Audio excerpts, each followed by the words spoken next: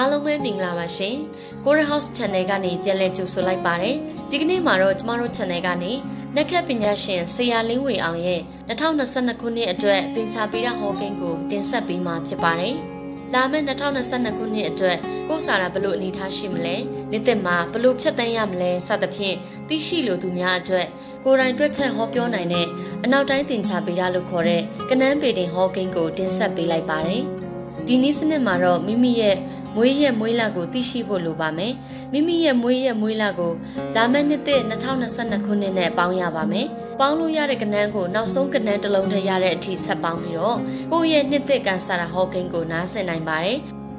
ဥပမာကိုမွေးတက်ကရစ်က4ရက်5လ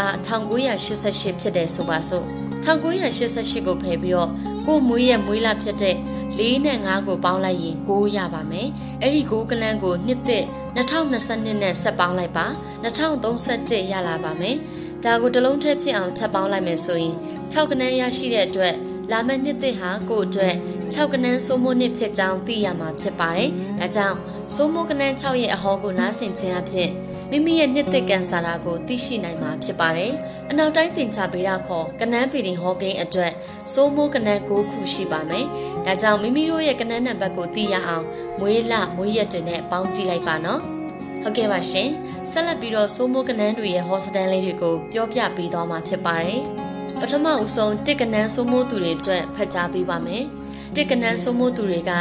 2022ခုနှစ်မှာလုပ်ငန်းသစ်အကြံအစီအသစ်များစီမံကိန်းအသစ်များစတင်လှုပ်ဆောင်ရမယ်။လွန်ခဲ့တဲ့နှစ်တွေကယာရချက်များရည်မှန်းချက်များကိုစတင်လုပ်ကင်ဆောင်ရွက်သင့်ပါတယ်။မိမိကိုယ်ကိုအားကိုးအားထားပြုပြီးကိုယ်တိုင်ကြိုးပမ်းအားထုတ်မှုများအရာချင်လာပါလိမ့်မယ်။ အတွေးခေါ်ကောင်းများပေါ်ထွန်းပြီးလုပ်ငန်းဘဝအခြေအနေတိုးတက်ပြောင်းလဲမှုများဖြစ်ထွန်းမယ်။အနာဂတ်အတွက်ဖြစ်ထွန်းလာမယ့်ကံတရားမျိုးစိတ်ကိုစတင်ပြုကျဲရမယ့်နှစ်ဖြစ်ပြီးတော့အမှန်တကယ်သီးပွင့်ဖြစ်ထွန်းလာပါလိမ့်မယ်။အတ္တကြီးခြင်းတကူကောင်းဆန်ခြင်းနိုင်တဲ့စီးနှင်းပြုခြင်းများကိုတတိနဲ့ရှောင်ကျဉ်ရပါမယ်။ဂျာမသာပုံမအောင်မြင်တိုးတက်တဲ့ကံအနေအထားကိုရရှိမှာဖြစ်ပါရဲ့ရှင်။ဆက်လက်ပြီးနှစ်ကနန်းစိုးမိုးသူများအတွက်ဖတ်ကြားပေးပါမယ်။နှစ်ကနန်းစိုးမိုးသူတွေအတွက် 2022ခုနှစ်ကကံတရားအနှိမ်အမြင့်အတက်အကျမြန်ဆန်တက်သောနဂါလမျိုးဖြစ်ပါတယ်။စိတ်ပိုင်းဆိုင်ရာလှုပ်ရှားမှုလည်းမြန်ဆန်နေတတ်ပါမယ်။မိသားစုအိမ်တွင်ရေးစိတ်ပူပန်ရမှုအချို့ရှိတတ်ပါတယ်။မိတ်ဆွေတငယ်ချင်းအချို့ထံမှအကူအညီထောက်ပံ့များရရှိပါလိမ့်မယ်။ရုပ်ပိုင်းဆိုင်ရာနဲ့စိတ်ပိုင်းဆိုင်ရာတည်ငြိမ်မှုရှိအောင်ကြိုးစားပေးသင့်ပါတယ်။ရဆရာရှိတဲ့ငွေကြေးကိစ္စများပြန်လည်တောင်းခံတဲ့ကာလဖြစ်ပါတယ်။ယခုကာလကအနာဂတ်အတွက် အတက်ပညာနဲ့ဗဟုသုတများရှာမီးစုဆောင်ဖို့အကောင်းဆုံးကာလဖြစ်ပါတယ်။အားငယ်စိတ်မထားသင့်ပါဘူး။ကိုယ်စိတ်ဆုံးဖြတ်ချက်စွမ်းအားအပေါ်ကိုယ်တိုင်ယုံကြည်မှုတစိုက်မမတ်ထားသင့်ပါတယ်ရှင်။ဆက်လက်ပြီးသုံးကနန်းစိုးမိုးသူများအတွက်ဖတ်ကြားပေးပါမယ်။သုံးကနန်းစိုးမိုးသူတွေက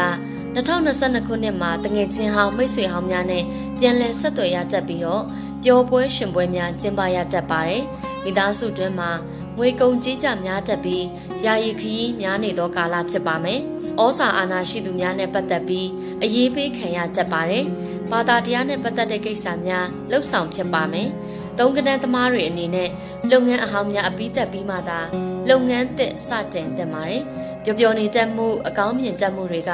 မိမိအတွက်ကံပုံမှုအားကောင်းစေပါလိမ့်မယ်။ဒီနှစ်အတွက်မိတ်ဆွေအတူရောင်များကိုတတိနဲ့ဆက်ဆံသင့်ပါတယ်ရှင်။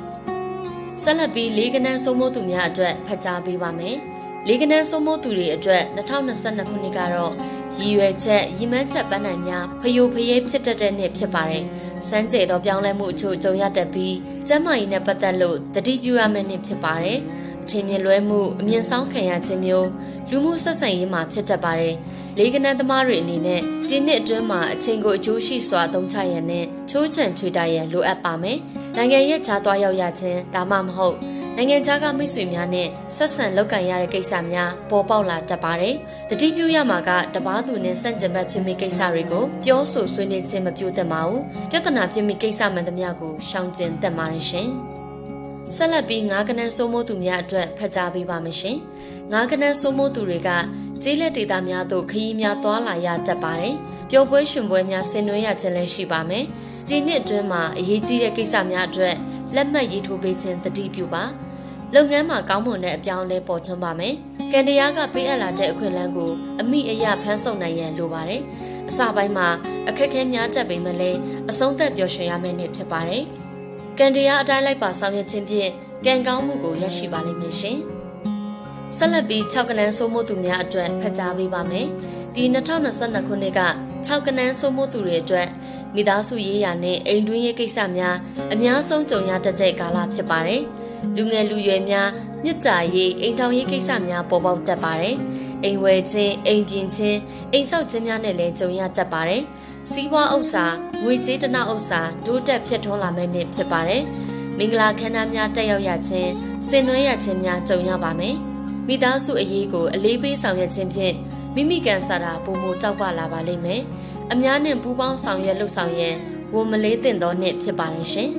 ။ဆက်လက်ပြီးခုနှစ်ကနန်းစိုးမိုးသူများအတွက်ဖတ်ကြားပေးပါမယ်။ခုနှစ်ကနန်းစိုးမိုးသူများအနေနဲ့လုပ်ငန်းစည်းပွားကြီးကြီးမားမားတိုးချဲ့ရန်မသင့်သေးပါဘူး။ငွေကြေးနောက်ကိုလိုက်လွန်ခြင်းလောဘကြီးခြင်းများလည်းရှောင်ခြင်းမှာမိသားစုနှင့်မိတ်ဆွေများအတွက်စိတ်ပင်ပန်းရတတ်ပြီးမိတ်ဆွေအတိုင်းဝန်းများမိသားစုများအခက်အခဲများကြောင့်ပူပန်ကြောက်ကြမှုများတဲ့ကာလဖြစ်ပါမယ်။ ဒါကြောင့်မိမိတို့ကိုယ်ွယ်ရာဘာသာတရားအလိုက်ကြင်ကြံအားထုတ်မှုကိုအချိန်ပေးပြုလုပ်သင့်ပါတယ်။အိမ်မက်ဆန်းများမြင်မှတ်ချက်ပြီးပရလောကကံမီယလောကနဲ့ပတ်သက်တဲ့စမ်းကြယ်မှုများလည်းကြုံရတတ်ပါတယ်။ငွေကြေးကိုအတိကမထားဘဲလှုပ်ဆောင်မှသာစီးပွားလုပ်ငန်းအစီအပြေနိုင်မဲ့ကာလဖြစ်ပါတယ်။ရေကုသိုလ်ကိုမကြာခဏပြုလုပ်ပေးဖို့လိုအပ်ပါမယ်ရှင်။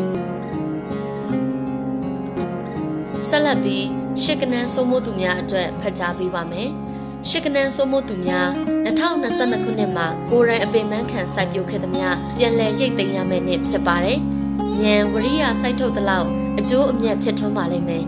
။စိတ်တက်ကြတဲ့သူများနဲ့ပေါင်းသင်းဆက်ဆံခြင်းရှောင်ခြင်းမှာ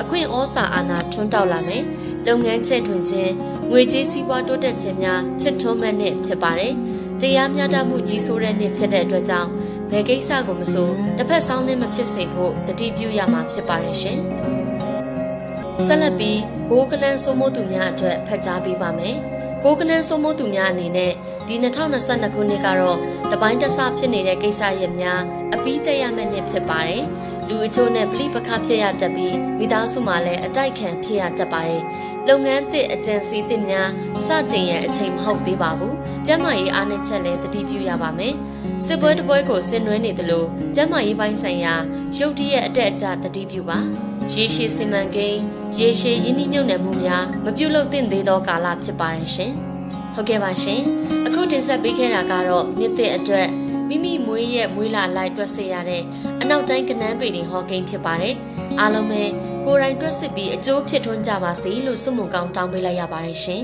။ကျေးဇူးတင်ပါတယ်ရှင်။